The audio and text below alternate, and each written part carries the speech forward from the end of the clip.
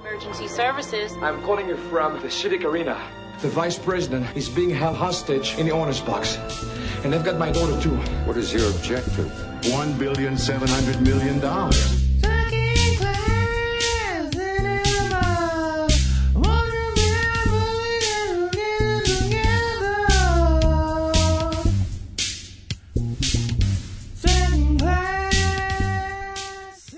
Welcome to Second Class Cinema, the show where we watch a B movie and immediately discuss it. I'm Tom. I'm here with Brittany and Erik today. Hello. Hey, how's it going? Hello. Rare morning record. It is. It's an early morning edition of Second Class Cinema, the show where we watch a B movie and immediately discuss. Hey, happy birthday, Tom. Hey, it is my birthday. Happy birthday. Don't do that. We don't, we don't own that. To Happy Cinco de Mayo birthday. It's Cinco de to, Mayo. To To uh, no, you can't even use the chord progression.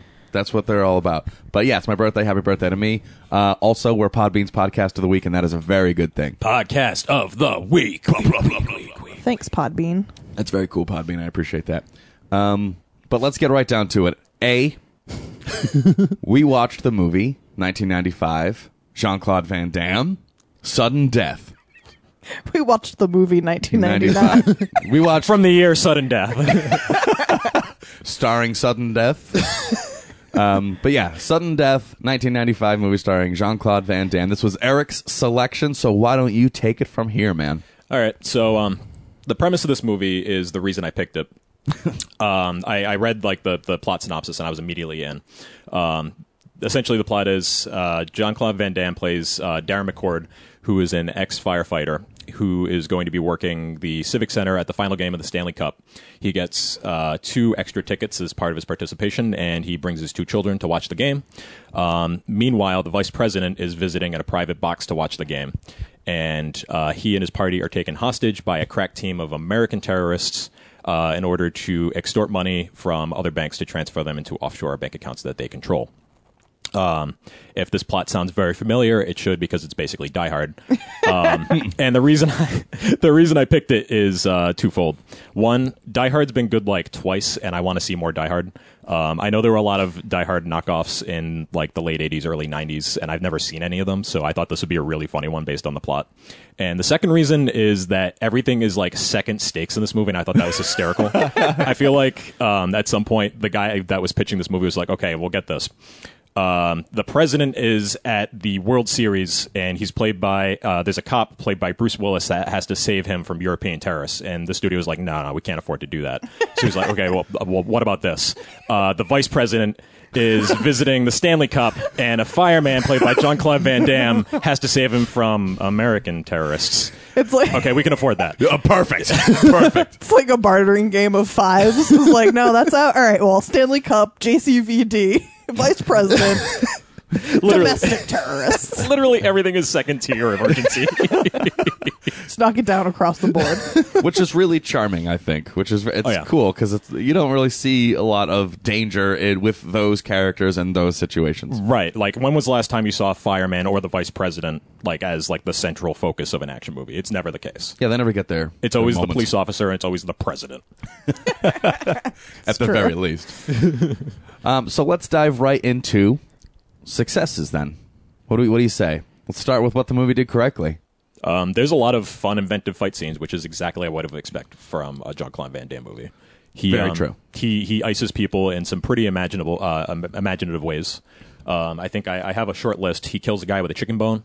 Yes, He snaps a chicken bone in half and stabs a guy in the neck. yes. Well, there's a, there was a great kitchen fight scene, like Yeah, entire kitchen fight, two kitchen fight, scenes two even. kitchen Yeah. fight scenes. which I feel like is a pretty good place to have a fight scene in general because Oh, there's yeah. just so much danger. That And there's so don't much at your disposal. Mm-hmm. like he gets threatened by like a meat tenderizer and like a deep fat fryer and an oven and a stove and all sorts of shit. and by the way, he's fighting a person in a giant penguin costume while this is happening. We should probably mention this. yeah, yeah. You I was saving that for my favorite part. But I was too, but that's okay. fair it's it's it's all part of the same same success. true. Uh, he he takes out a guy by filling a super soaker with gasoline and lighting him on fire.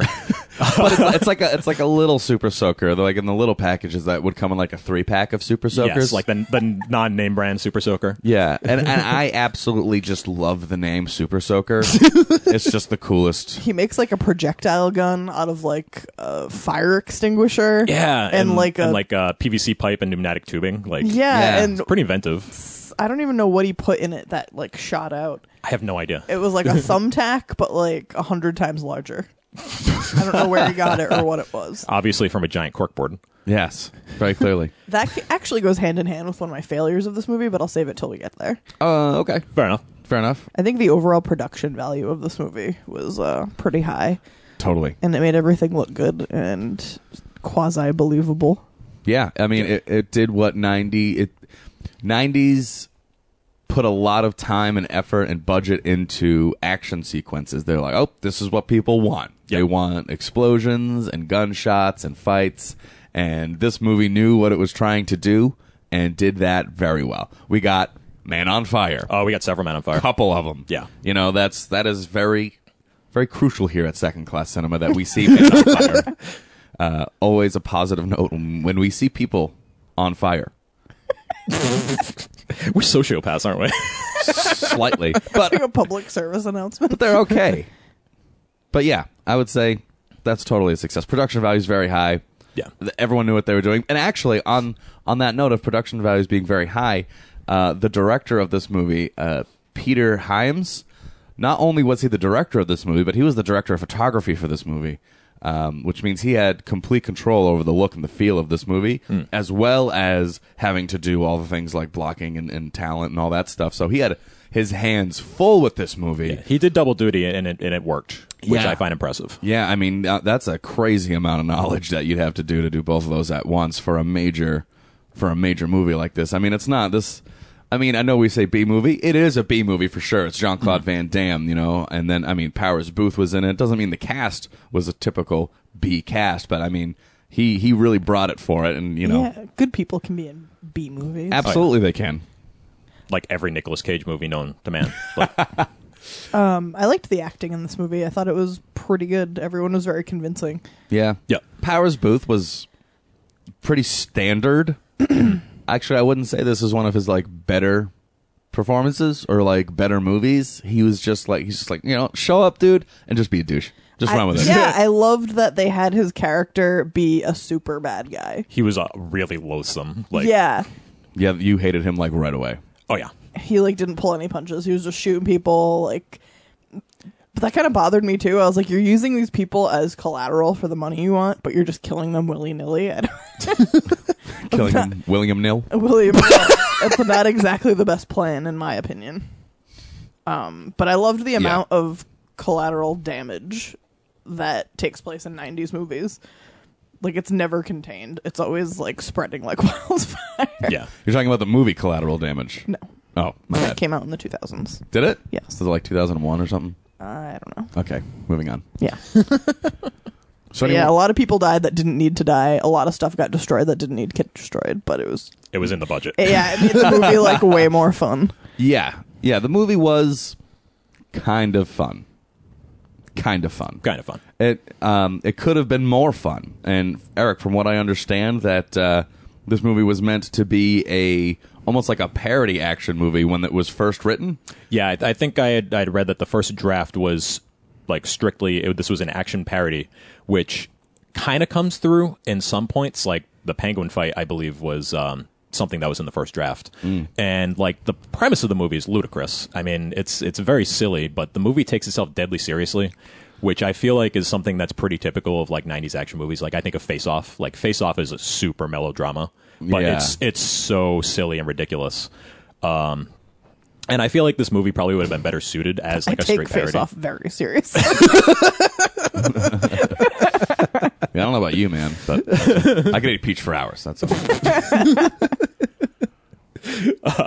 But yeah, I, I feel like this movie's like got that weird tone deafness that a lot of '90s action movies have, and I, I feel like it would have worked better as like a, just a straight like this is a comedic action movie and we're going to treat it as such. Yeah, I think it would have done. It would have been more fun if they had done that. and we actually looked it up because after you said that, it was like, well, that's interesting. This movie came out in '95. It, it was supposed to be uh, kind of funny, kind of parody, and we looked back and um, before this movie got made in '95, there were three Naked Gun movies, two Hot Shots movies, um, Last Action Hero had just previously tanked. Last Action Hero via '93 previously tanked, and I'm not sure about the successes of all those other movies, but maybe I'm sure like Robin Hood, Men in Tights, stuff. Robin like Hood Men in. Tights was '93. Yeah. So this was the age of the parody movie. So I bet you first draft they were, they were just like, oh, we're just going to keep doing some of the same, and then all those movies maybe didn't do as good as they had hoped. So Last Action Hero, didn't, I don't think it made its money back.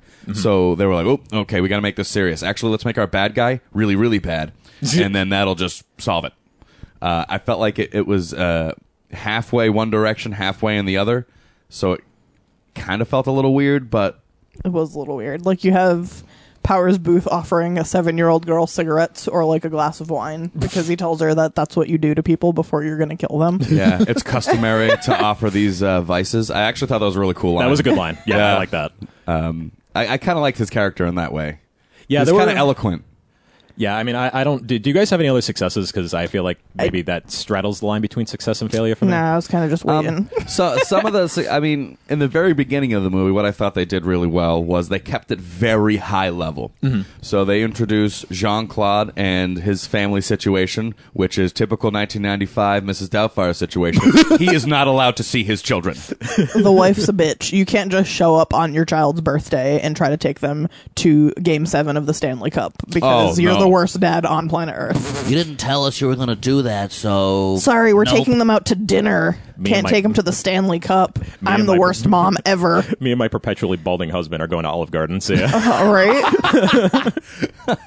Um, but yeah, th- and so it kept it very high level, and it just moved through a bunch of stuff like The countdown. The, yeah, exactly. The countdown to Face Off, not the movie. the actual in the in the Stanley Cup. They started at four hours and they were down to about twenty minutes and about five minutes. Yeah. So they just went like this action, this action, this action. And they were teeing it up and they were moving through it. And you're like, okay, this movie's working with some pace. Yeah, they, they Um, kept the setup nice and compact. Yeah, and but then they, I feel like they didn't follow through with that because throughout the movie, I feel like there's so many things that they could have done away with that would have just made it I can't think of what word. Urgent, like like tight. Yes, that too. I- I like think- more effective. I think- Essentially, like Yeah. there's a lot of things that didn't really have a lot to do with what was going on, Mm-hmm. and if they did, it felt like they were kind of just like wedged in there. And this movie was uh, an hour and fifty minutes, and it did not need anything else wedged in there. they, Yeah. they could have very easily sliced out some side plots and it would have been the same movie. yeah. Like his entire son. he is a completely redundant character.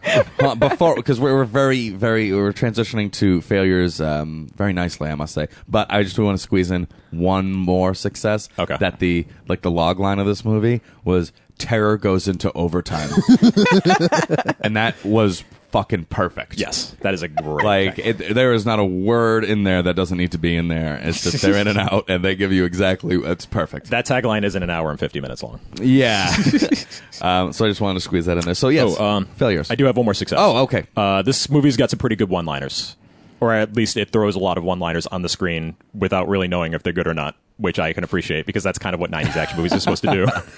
uh, do we have any examples do we do we, Um, do we yeah. get any So um, the the premise of of the movie, uh, the the start of it, basically, the way the the terrorists get access to the vice president's box is that they hold um, the main chef's wife hostage. Um, and they managed to convince, like, they managed to coerce the the chef into giving him access to the vice president's uh, private booth.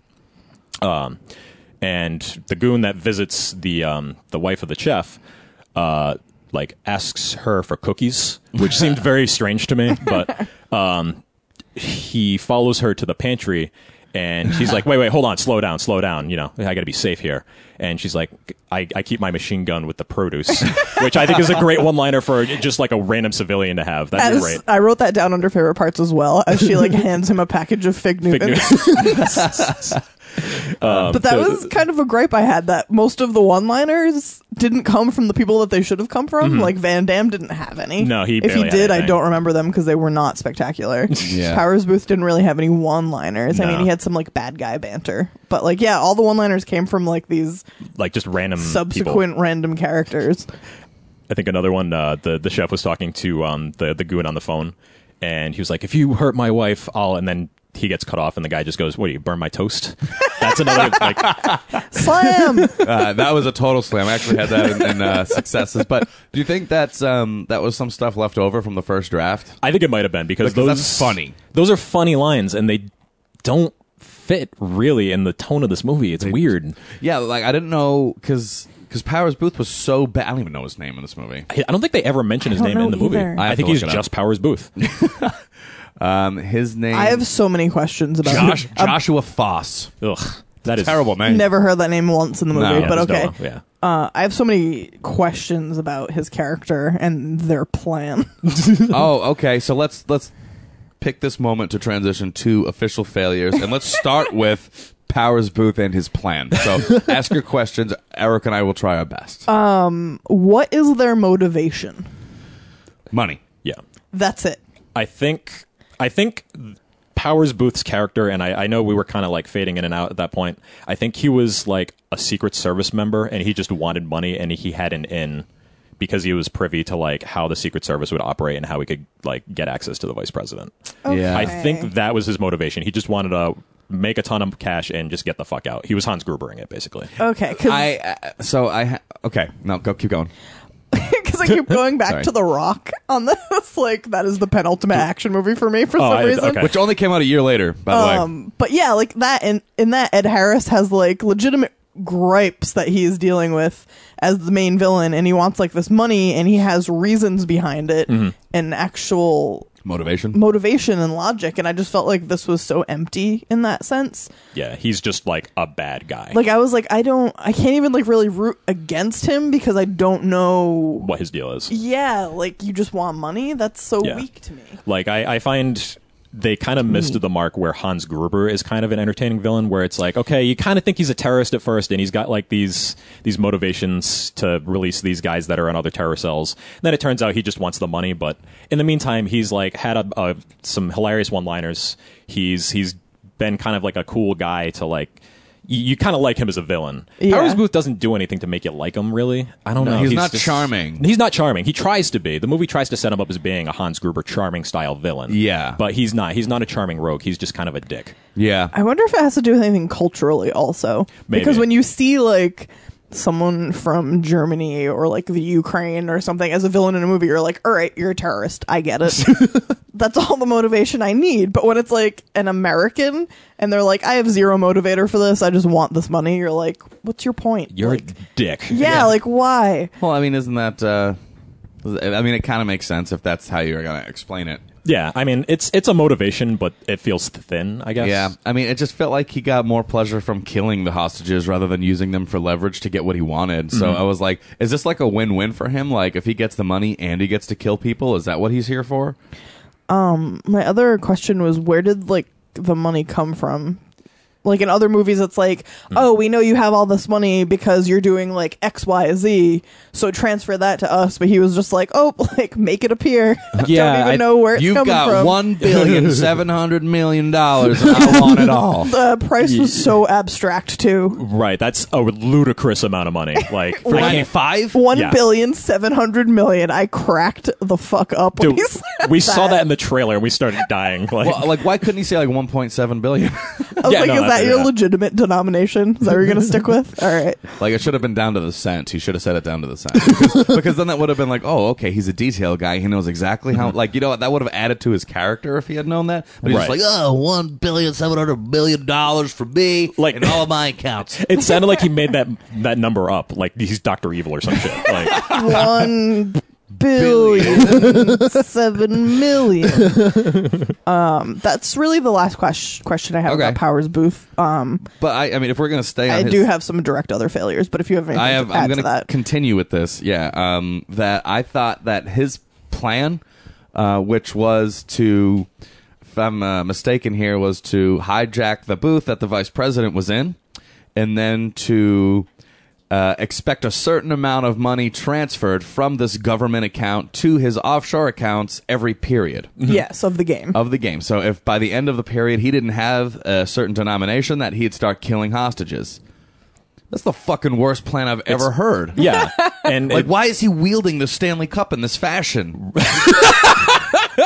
It doesn't make sense. to Can't me. use mean- hockey to your own sick ends. Uh, well, I guess you couldn't get- do like baseball because it's like, oh, I got nine fucking innings. That's, that's a little too. That's, what's the what's the sport with the shortest amount of, of denominations of play? Oh, Stanley Cup, obviously. yeah, hockey. I mean, it, it, it comes off of like they were. I mean, I'll, I'll probably go into more detail on this later, but they were obviously this is a big Die Hard knockoff, and in the plot of Die Hard. Uh, Hans Gruber makes like a bunch of unrealistic demands just to buy time, and it makes sense in the, the, the plot of that movie. And this, he's making unrealistic demands, but they're demands that he actually wants accomplished. So you would think he would like give them time to accomplish these demands. exactly. Like he's expecting to get five hundred million dollars transferred to his offshore accounts every twenty minutes. Yeah. that's insanity. yeah, and he's already killing the hostages, so Mm-hmm. he's giving them zero incentive to work with him. Right. And the the leverage he has is that he has the vice president. That's it. he's just killing people willy nilly. Yeah. Yeah, you killed like the mayor, killed the mayor's wife. Like you know, like, the vice president can be replaced. Well, that's what we actually thought uh, Our for a little while was that If you kill the vice kill president. the vice president, you become the vice president. that was his end game. and that was the end game. um, and well, and also too, it's like from the perspective of the Secret Service or, or whomever is trying to stop Powers Boothe from being a bad guy. They know exactly when his plan is up when the fucking hockey game is over. yeah. Like, I mean, yeah, he had I some mean- bombs planted in there, so it's like, okay, well, that'll get what I want. The whole place goes up, but right. like, which means he also blows up, which I think someone points out to him. yeah, but does he not care? Did he disarm nine out of the ten bombs? I think he did. uh, Yes. There's yes. only one left. There was one left. Yeah, he got to nine out of the ten. Listen, ninety percent. That's a passing grade. That's an A minus. Oh yeah, for sure. Jean Claude gets an A minus for this. no, I just meant that was weak for the villain. Oh yeah.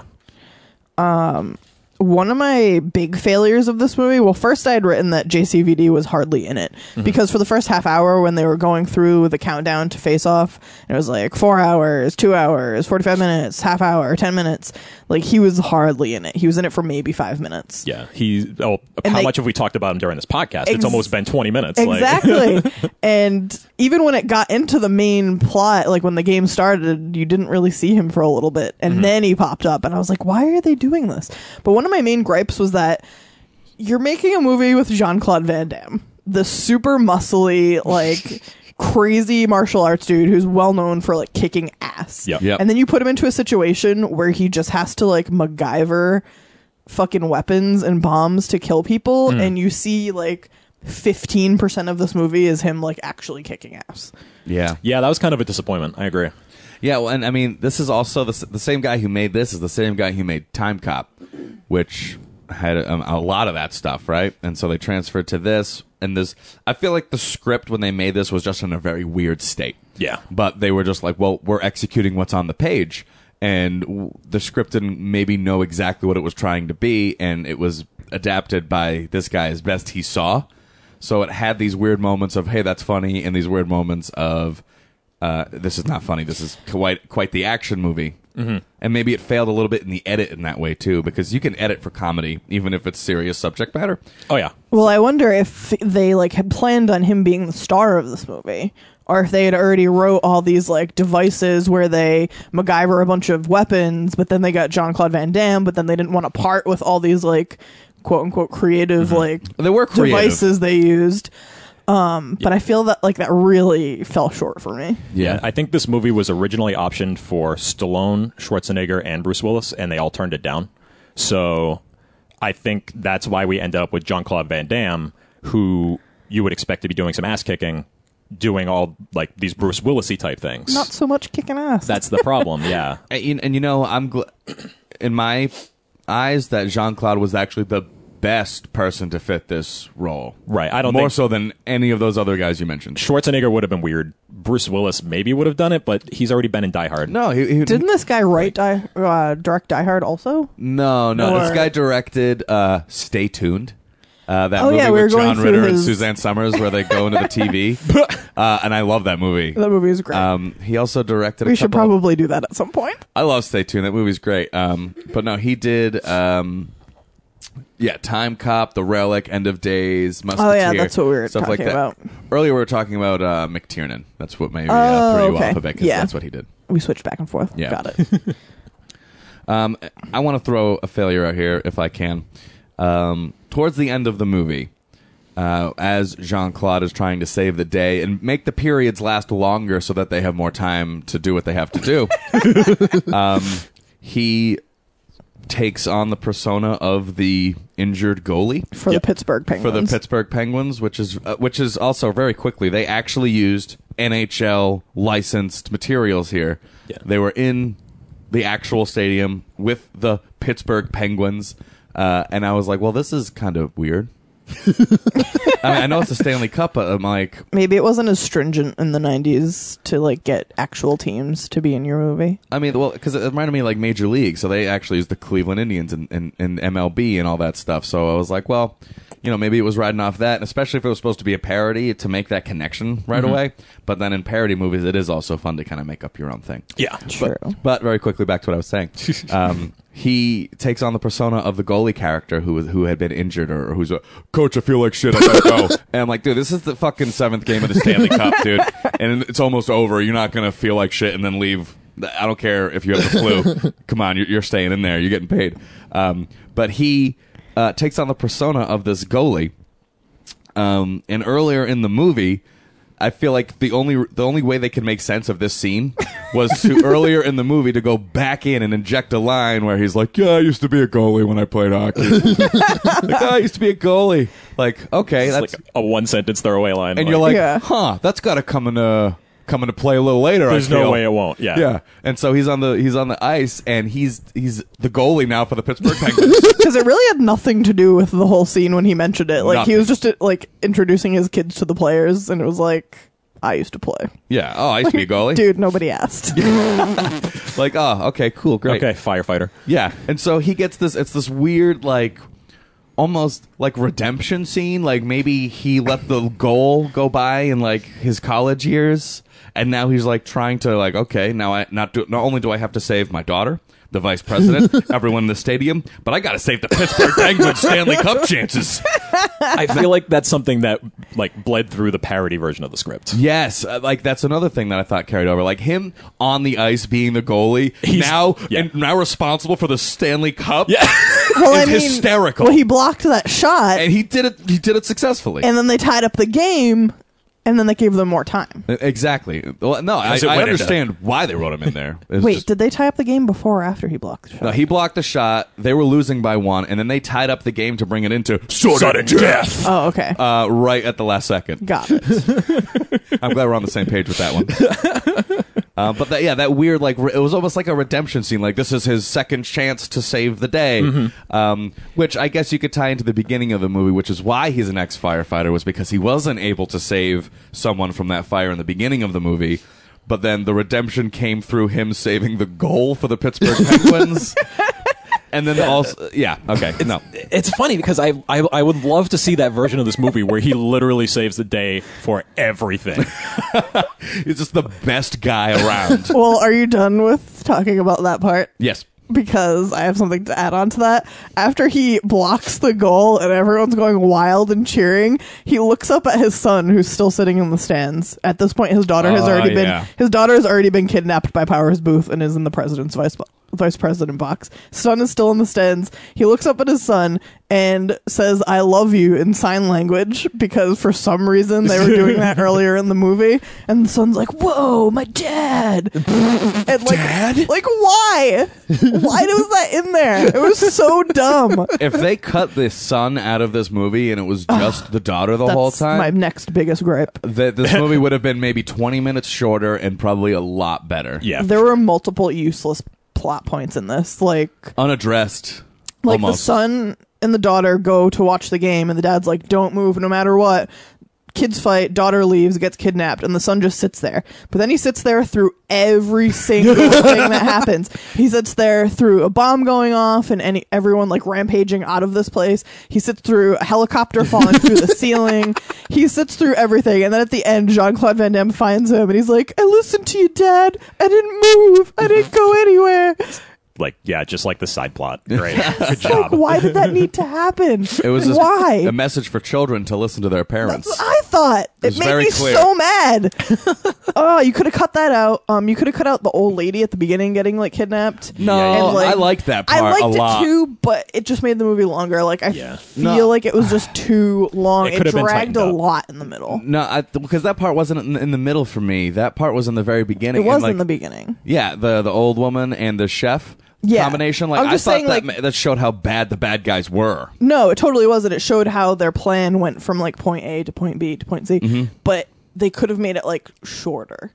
They could have. They were like, up. all right, this guy's going to pull up to the curb and start talking to the wife. And then you're going to cut to something else. And then you're going to cut back and he's going to be inside talking to the wife, asking for cookies. And then you're going to cut to something else. And then you're going to cut back to them, telling her to call this number, blah, blah, blah. Right. It's like, oh my God, just I- get on with it. Would have expected the wife and the chef to last longer in this movie, given how much time was spent on them. But then they just get disposed of. Exactly. And that brought me back to my, like, wow, collateral damage of everyone in this movie is terrible. Maybe there was meant to be more jokes in those scenes that have got cut, and Yeah. then like, yeah, I think when you try and take something that's a comedy and flip it for action drama, that there's it's a weird translation to make, and you got to make sure you change everything to make sure it gets to that point, because otherwise you're stuck in this weird place where this movie was.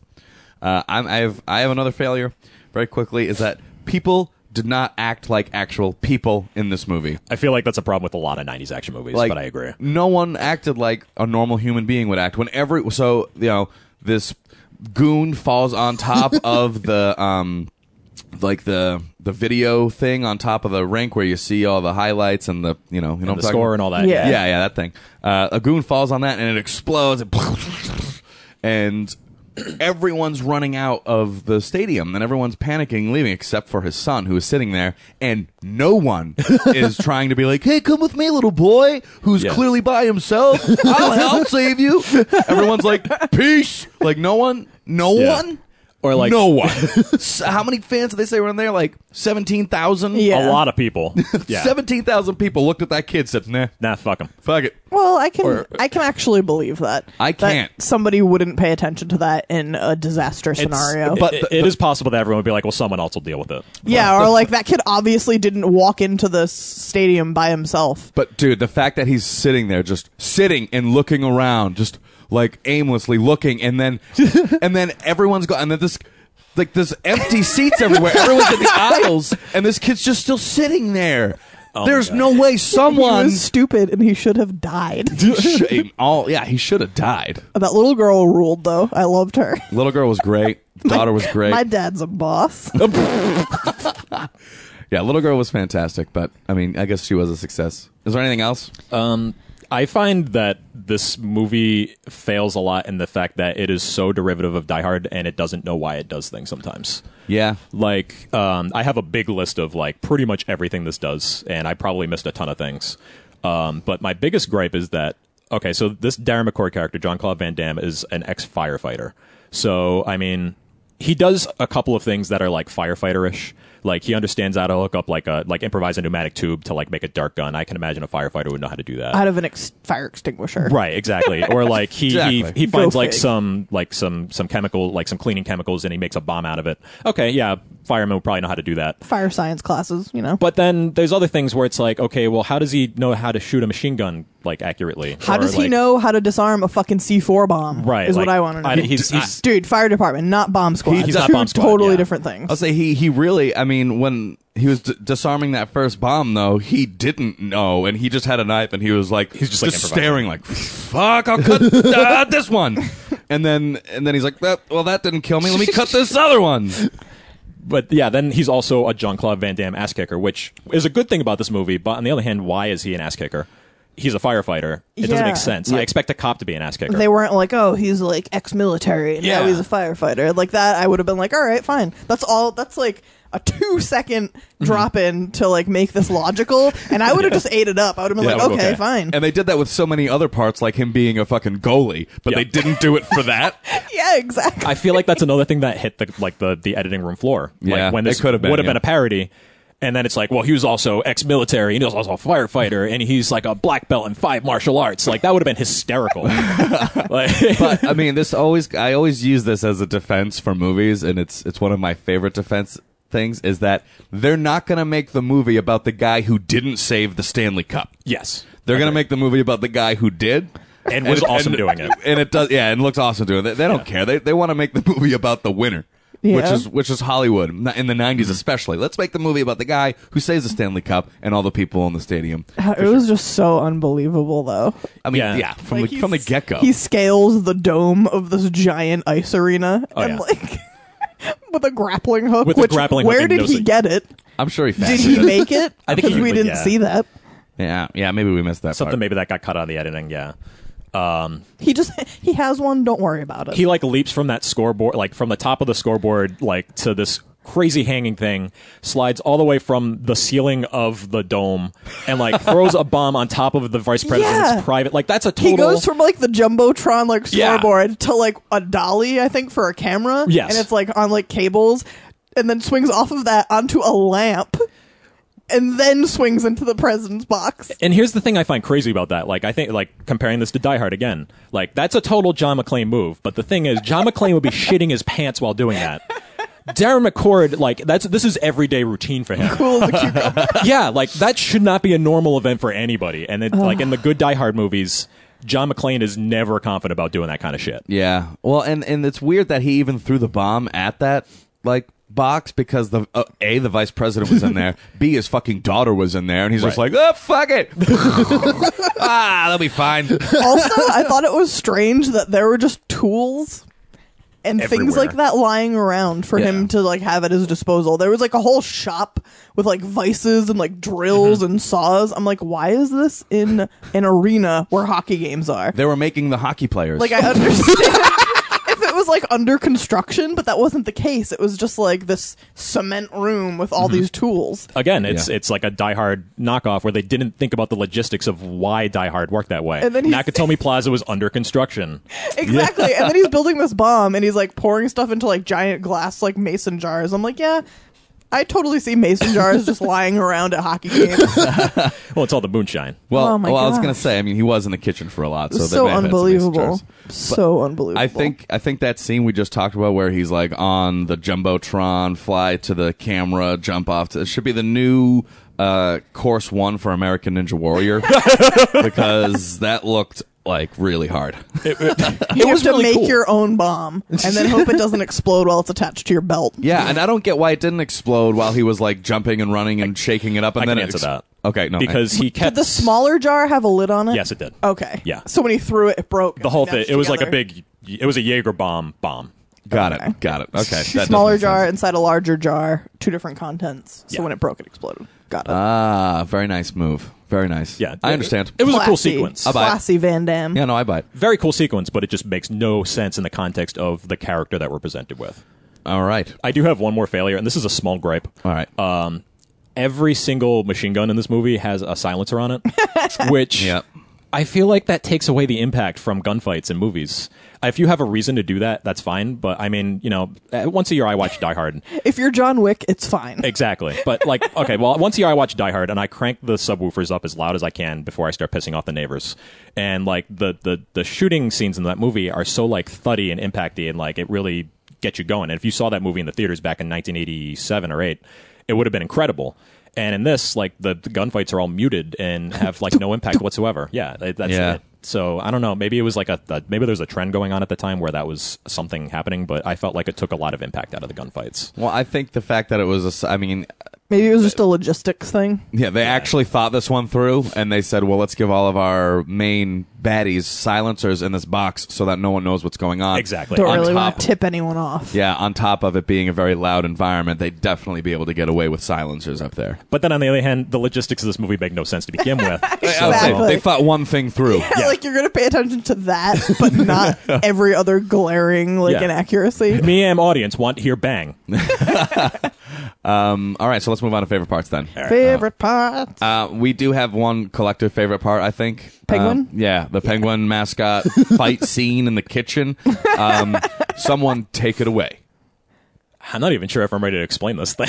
yeah, I'm not really sure how it sets up. I know that um, the Well- penguin, the mascot, kills someone in the ladies' bathroom Well, the mascot. So let's and then kidnaps his daughter, brings her to the vice president box, I don't remember how him and Van Damme met back up. I'll say let's start from the beginning of that and say that the mascot was one of his friends in the Mm-hmm. beginning and that met his children so that they were comfortable with this mascot. Yes. They were like, "Oh, it's this lady that's It's Icy the penguin. Yeah, Yeah. Icy. Yay. Oh, we know the Icy person. Mm-hmm. And then all of a sudden uh, someone stole that mascot suit, a very bad woman.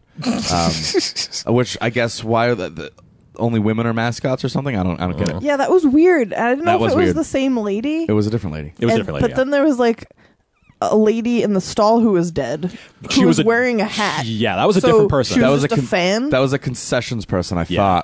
Thought. I okay, thought that was a so that was collateral damage. Collateral damage. the collateral damage they- is so ridiculous in this movie that we can't follow the plot. who anyone is. because they saw that it wasn't who it was supposed to be, so Mm-hmm. then they had to kill that person. And then the daughter goes in and finds the the body. uh, the mascot and was like, "I see." And then the the mascot's ignoring her because she doesn't know that that girl actually knows who that mascot is. And then uh, shock, horror, stall opens, dead person falls out, bad things happen. Um, the mascot was about to kill the daughter until a bunch of people came in, and then they had to act inconspicuous. The daughter ran out. yeah. Yeah. Um, and then that leads us to the fight scene in the kitchen. Oh no! Didn't he follow her? He followed the mascot, and he was Yeah. like, "Oh, you were just walking back here with my daughter. Like, Oh, that's where's right. so and so?" And she was like, "Oh, she got sick and she had to go home early." Yeah, the elevator. And she was like, "I brought your kids up there because they wanted to meet somebody, The vice president. the vice Yeah, president." and then she, and then he saw his daughter's hat in the elevator and was like, "What the fuck, bro?" That's right. yeah. Yeah. And then they started fighting. Yeah, they go to the kitchen and like beat the shit out of each other. It's hilarious watching Jean Claude Van Damme beat up somebody in a mascot uniform. like every, I just felt like every hit that landed didn't matter. In effect, that those mascot things have a lot of padding Yeah. Because mascots are expected to be beaten up by little kids. Uh, I mean, they did a lot of cool stuff in Mm-hmm. the kitchen for that fight scene, and it was very funny. yes. Yeah. Just because like the look on the penguin's face is so doofy. Like he's got these big like so happy looking. these big bug eyes and like just this this crazy like happy beak with human eyes coming out of it. Like And and you know what I thought of as we were watching this? Um, so as the scene kept going and going and going and Mm-hmm. going, it didn't stop. There was just a lot going on, and they went to all over the kitchen. They were doing this whole thing. It reminded me um, of the, that Family Guy moment Yeah. when Peter fights that chicken in front of that store. They just start to get into this like crazy fight, and then it just goes all over the place and it doesn't stop. I'm Yeah. like, I guarantee Seth MacFarlane saw sudden death and was like, I am writing that into my cartoon. yeah. Which makes sense because that entire scene is so cartoonish and so ridiculous. like fighting over the fry later. Yeah, fighting over, and it was just hilarious. And I was like, "Oh, that's where he got it Oh, he from." shook red pepper flakes in her eyes at one point. Oh. like into the bird's mouth, Yeah. which is where her eyes were. Dude, I, I even wrote down like, "Oh, oh, red pepper flakes will help you kill a mascot in a pinch." just to, just so everyone knows. Um, but yeah, I thought that was interesting and how that paralleled with Family Guy. I'm pretty sure that has to be where he took it from. Oh, has yeah, to be. It's got to be. Yeah. I have a note in my notes that says, "I hope he fist fights that penguin," and that, that delivered. sure enough. I thought this was really cool. Um, in the beginning of the movie, when they were singing the national anthem for the game, all this like kind of really bad stuff was happening. So like they're doing this whole national anthem thing, and then that was when the bad guys were taking that moment of of everyone being focused on that to make it upstairs to kill a couple people to like really wrangle in the vice president and that was really cool Yeah. they did a really good job because I like I love contrasting music. It's like my favorite thing in filmmaking, and like the fact that this is the national anthem, and then we're almost degrading it by showing all these other things happening. I was like, very cool. Kind of reminds me of um, Face Off again, where uh, that that big shootout is happening while somewhere over the rainbow is playing. Yes, Yeah, that's like another great contrast of music. Yeah, that stuff very works cool. really well in the '90s action movie. uh, totally agree. So, anyone else have any favorite parts before we rate? Uh, Um, there's a part where okay, so we've talked about the useless son and how he never leaves his seat. Yes. there is a um, there's a turncoat within the Secret Service that is working with the terrorists, and he is being sent to he's being sent to get the kid. sorry, He's being sent to get the kid to hold him also hostage to to raise the stakes, and. The the son's been instructed never to move, like don't move ever. Never ever again. Yeah, exactly. And like this, the Secret Service guy comes up to the kid and he uses every trick in the book to try to get him to go. And I feel like this is when like stranger danger was like a big thing. Like, Yeah. So like this felt very of that. But he was like, "Hey, uh, you know, your your dad's in the the private box. You should come with me. Uh, we'll we'll talk about it. We'll get some snacks. It'll be really good." And he was like, "My my dad told me not to move." He's like, "Well." Okay, well, get this. I'm with the Secret Service, and uh, I need to protect you. And he was like, "No, I, I, I, I'm a little kid." And the guy was just like, The guy's like, "Should Damn it. You're a little kid. You should do what you're told." And he's like, "I am." I was like, "Yes." I know. And, and the Secret Service guy, I guess I can't argue with that logic. He just like shakes his head and walks away. but here's the thing: no one in the stadium was paying attention to this kid. He could have just scooped him up and walked away.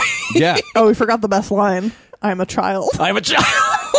that was his logic about why he couldn't go with him. That's the fact. And like, and what do you say to that? You're like, well, no, he's 100 percent correct. He Yeah, is a child, and I, I just got Stating beat. the facts. It doesn't even make sense. Shit. All right, I'll be back for you. All right, I'll come back. Foiled me this time. I have a favorite part and a favorite part that we were um, we we were not given, which I find unfortunate. Uh, there is a scene where Jean Claude, after he's wearing the um, the hockey pads, he's dressed up as a goalie. Oh, yeah. and there is a part where he gives an awesome like sideways like hook kick to a guy that comes in through the door, and I'm disappointed for this for for two reasons. One, when he kicks the guy, he does not kick him with the hockey skate, which I think would have been a.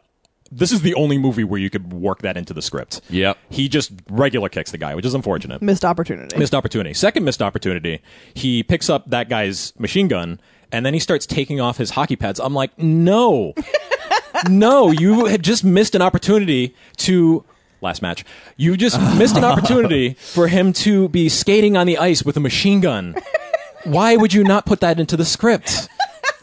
And then he just changes back into his regular, like, tough guy clothes. I'm like, damn it. yeah. It was so close, but so so so, far. Uh, one one little side thing too. Uh, there is a part where the token computer hacker. Um, they cut to him just playing Doom while I hated that guy. that guy was horrible. Um, I loved when the little girl said her dad was a boss. That was one of my favorite parts. I don't even remember the rest of that spiel, but she was just in Powers Boothe's face, like, like my dad always does what he says he's gonna do. He's a boss. he's gonna come for me. I was like, whoa, she's so young to be calling her dad a boss. I know we're like, oh, you got slammed, Powers Boothe. she was ahead of the curve on the boss thing by Yeah. like ten years. I know, right? She was awesome. Um, and actually, she like talked shit to him every chance she got. Oh, it was so good. She was like, you're mean. yeah. He was like, why do you think that is? She was like, maybe when you were born, there's something wrong with your brain. It, it was like I one was of the yeah, you got it. it was one of the derivative Die Hard things that worked out well because like John McClane's wife Holly Gennero is always talking shit to Hans Gruber, and that's something they pulled over and it worked really well. Yeah. she kind of filled that same role, but it was perfect. I liked it. Yeah, instead of a wife, it was a daughter, and I liked that actually. That was nice. Um, and I actually do have one more very quick favorite part at the very. This is the very end of the movie. This is after Jean Claude very clearly saves everyone's life in the Stanley Cup and the Pittsburgh Penguins' chances of winning. When the the Powers Boothe tries to escape in a helicopter, um, and bad news, Jean Claude attaches himself, takes down the helicopter with a gun uh, and there's just a, a crack in this in this dome for the rink, and he's on the roof, and this helicopter's going down, and it takes. I'm gonna. I mean, this helicopter t- takes a 90 degree angle, like perfectly. So the nose is So straight the nose is skyward. straight up, and then it just slowly falls straight down on an absolute perfect line. It looks like um, if you ever use like Flash, like if you just tween between two points without doing like any variation in the movement. Yeah, I feel like they tried to rationalize it by showing the pilot's hand on the s- Pull like- back on the stick. yeah, on the stick, like all the way back. And I'm like, I'm pretty sure that's not how helicopters work. Yeah, I don't think they understood that. And then it- as it was sinking in, they like Jean Claude Van Damme Powers Boothe like shared that eye lock where like I got you, and then there was that amazing top shot like all the action movies do have that high angle shot of the bad guy falling down, and you can see his little face inside the helicopter window. He's like ah nah. I thought and that then was it funny. explodes. And yeah, then it explodes on the ice. Well, and a great explosion. By the Oh, way, perfect. Ugh, I just hated how it fell in a straight line. Yeah, that like, was so dumb. gravity would say no to that. No, and like it, as far as it looking okay on the picture, it looked okay. I mean, it wasn't like Yeah. it wasn't like bad graphic. It was just like that's not how it moves. like the angle of it. yeah, it was just a little weird. I mean, they did a decent job for 95. No, guess- no doubt about it. Yeah, but like, the mechanics of it were just like that's Yeah. not what would have happened at all. And even Yeah. if it did, punch it up a little bit. Yeah, Yeah, like, he would have pulled back on the stick. It would have like crashed into the top of the dome, and Yeah. then like maybe like lit on fire and like fell through and fallen on the ice. Maybe and make it go into exploded. like a tailspin or something. yeah. Like, yeah. I, it never would have just been like boop. perfect. Yeah. it was like it was like a cartoon boat sinking. Like it just goes ass up and then just sinks straight down. Yeah. Like- Oh, God. Very Looney Tunes. and then the movie ended so abruptly, yeah. and they find the, the son, and he's like, "I never moved," and then it's like cut to him in an ambulance. at The end. Well, no, so like I never moved. Oh my god! And then they shove him in the back of an ambulance. You see him through the window. Wide shot of the city and the stadium. Cut to credits. Done. No resolution with the wife. No resolution with the vice president. Nope. It was No. Nothing. very Like, weird. For for the plot being he has to save the vice president. No one cared about what happened to the vice president. Yeah.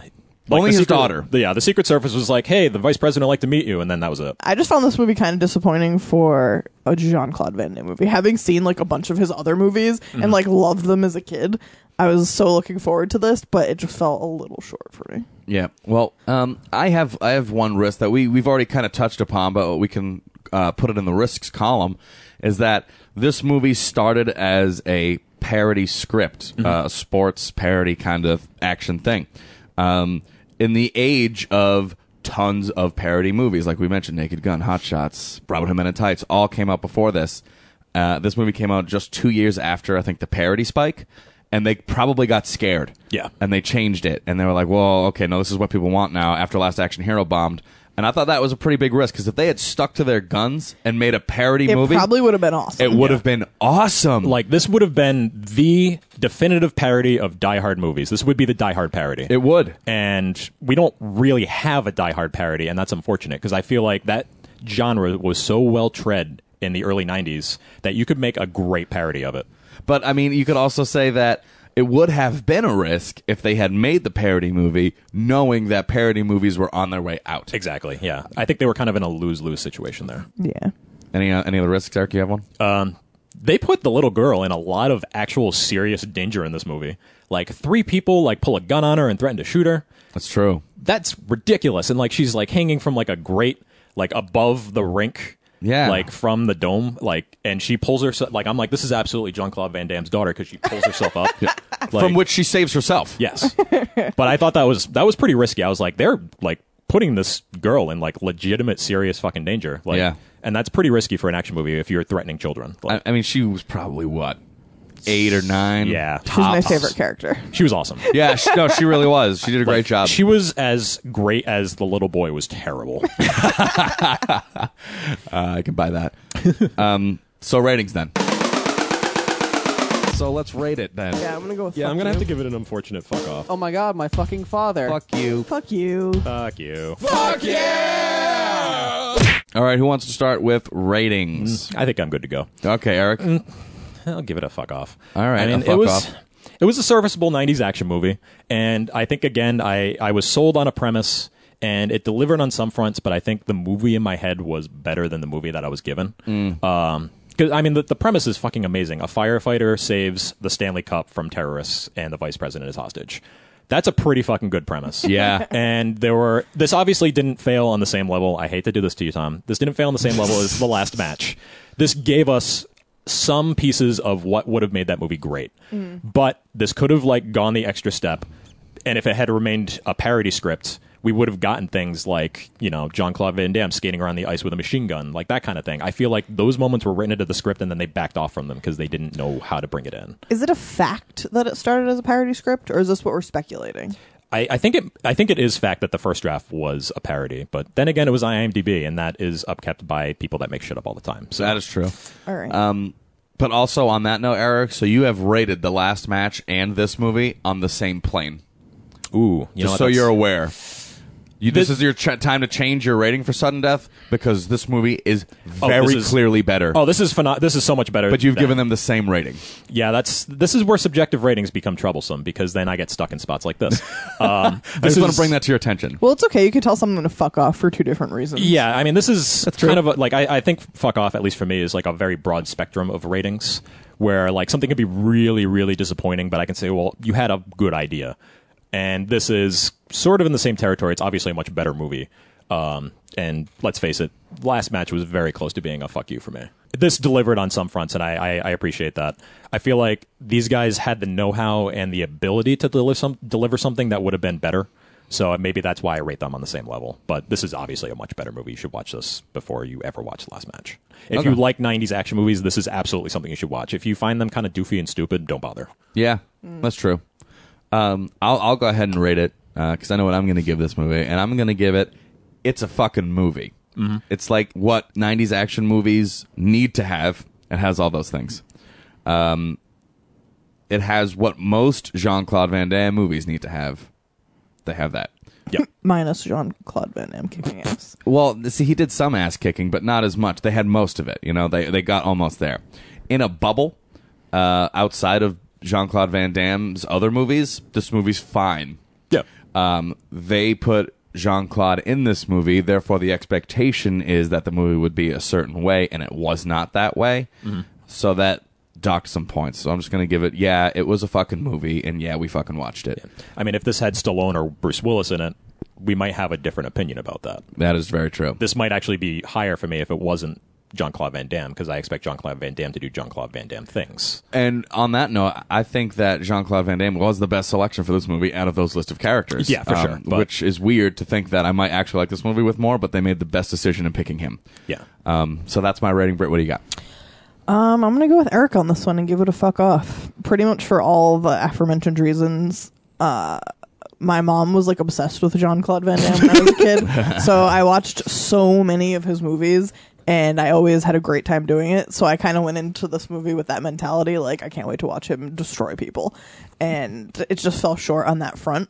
And considering that that was what I was most excited about, that was a large disappointment for me. Yeah. I can buy that. I wouldn't say it's terrible. If somebody was going to watch it, I'd be like, "Oh, that movie was okay." Um, but if somebody asked my opinion, I would tell them I would give them like six or seven other Van Damme movies to watch in its place. Yeah, that's true. Actually, you know what? I, I I'm I'm gonna go back. I'm gonna rethink my decision here because the way I started saying why I picked this movie is that there's only been like two and a half good diehards, and I want to see more Die Hard. And in a way, this gave me a far better Die Hard sequel than most of the Die Hard sequels. So in a way, you know, what? I think I'm gonna I'm, I'm gonna step up and say this is kind of a fuck yes. Um, wow, that's a big leap. Uh, that is a, big pretty leap. big leap, but it's not a fuck yeah. But No. I feel like I don't know, like Die Hard Four was okay. Die Hard Two is pretty forgettable. One and three are really the only good ones, and if they made a fifth one, it would probably be fucking horrible. Good um, thing they I'm really didn't. glad they did not make a fifth one. Thank God, Where he because was on vacation, yeah, they ru- they would ruin the mo- the whole franchise the if they did franchise- that. yeah, I mean, it would have been tanked. No one ever makes a good fifth movie, but I feel like you know, in my head, I can say this is a pretty good fifth Die Hard because I can I can I can put John McClane in this spot where like there's a big sporting event and he has to rescue everybody, and they could have integrated it, and it, this would be a good spec script for a Die Hard 5 Mm-hmm. You know, Yeah, I can I could definitely see that. Um, and with that, final thoughts. No, Eh, let's watch Bloodsport. Yeah, that might be a let's watch Timecop same guy who made it. Who directed. or Nowhere to Run I'll watch any Van Damme movie or now. Double Impact. Oh, I want to watch Hard Target. That's that's that's the John Woo, uh, Jean Claude Van Damme, and I've never seen it. let's do it. We have all day.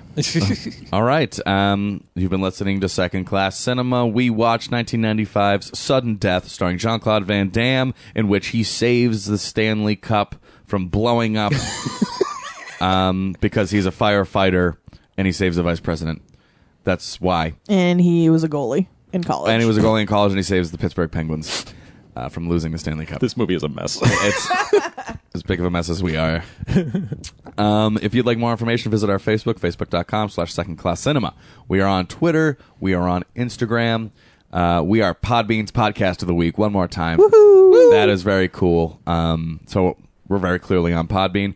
We're on tons of other podcast aggregators and sites. So check us out uh, wherever you feel comfortable looking up. Uh, Imgur. Uh, we're also on Imgur. We post gifs. So if that's it, that's it. And good night. Happy birthday! Happy birthday. birthday. Happy birthday to yourself. Yes, I can.